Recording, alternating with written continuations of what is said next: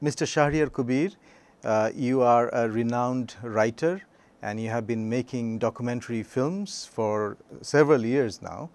Uh, the trilogy on jihad that you have been making, uh, you recently brought the third and the last final part of the trilogy called the ultimate jihad. Could you please uh, tell us uh, about the content of the documentary? Well, the name you have said it is ultimate jihad and uh, who are the perpetrators of jihad, global jihad. And what I exposed in my film, it is about Al Qaeda, Muslim Brotherhood, and Jamaat-e-Islami. Mainly, these three organizations are perpetrating this jihadi politics throughout the world that is terrorism in the name of religion. I started my film with the incident of tragic incident of 9 11 and on that particular day, I have shown this film in New York, our mission in New York. They have arranged this screening, and I have also dedicated this film to the victims of 9 11. What I feel that the tragic incident of 9 11, the horrendous, you know, the killing of 9 11, it is very much related with all kind of killing in the name of Islam that we have seen in uh, Bangladesh in uh, 1971. Three million people have been killed in the name of Islam.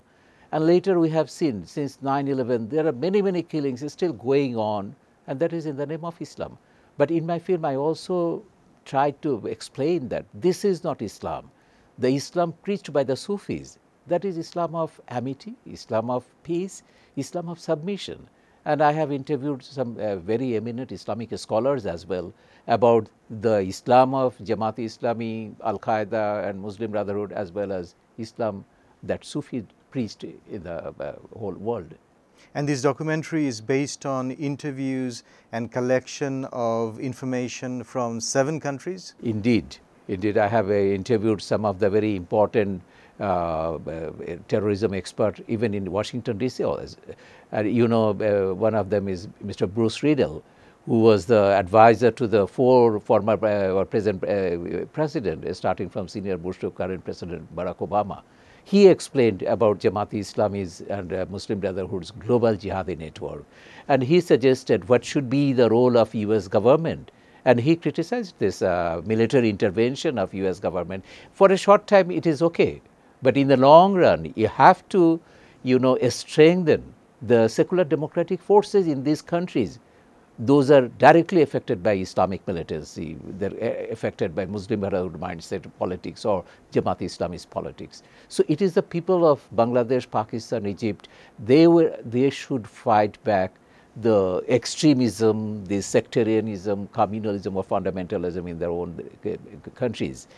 But what we expect from United States or from the West, that you should support the secular democratic forces to grow up in these countries. So that is the core message of my film.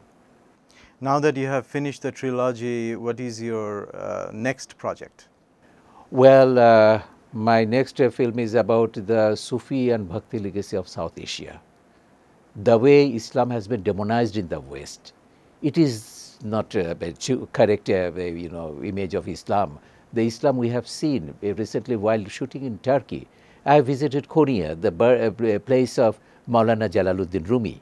And he talked about humanism. Religion is a personal matter, and he talked about humanism, love for mankind. And that is uh, the legacy has been carried out to Pakistan or Bangladesh. The Lalon is the last of the Sufi legacy, what we have seen. So now I am trying to link, you know, Konya to Kushtia.